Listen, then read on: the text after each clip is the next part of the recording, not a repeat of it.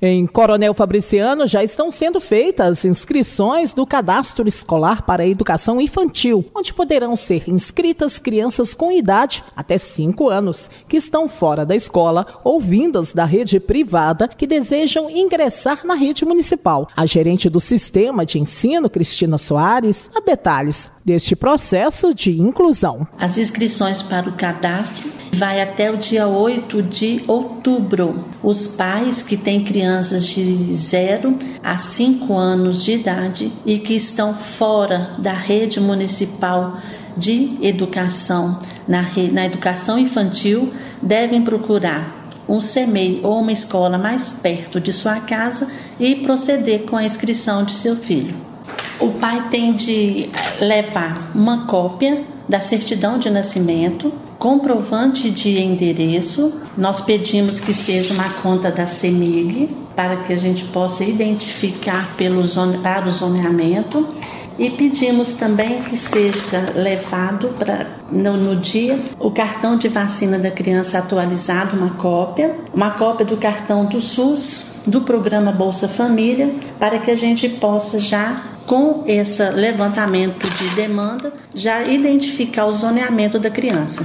As escolas e CMEs estão aguardando os pais para inscrição de 8 às 11 horas da manhã e de 13 às 16 horas na parte da tarde. Cristina, o porquê do levantamento desta demanda? Esse levantamento de demanda, ele vai servir para que a gente possa e dar vaga para a criança que tem maior necessidade.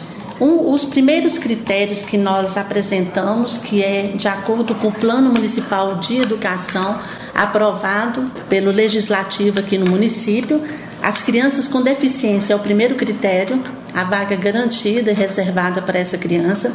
A criança sob medida protetiva também é o segundo critério, elas são assistentes elas são acompanhadas pela assistência social, é também um critério. As crianças com risco social e de vulnerabilidade é um terceiro critério. As crianças também que pertencem ao grupo familiar, onde o pai ou a mãe, ou se mora com os avós, têm doenças graves, ou doença na família, ela também é assistida antes das outras crianças. E temos também as crianças cujos pais são ausentes ou trabalham fora.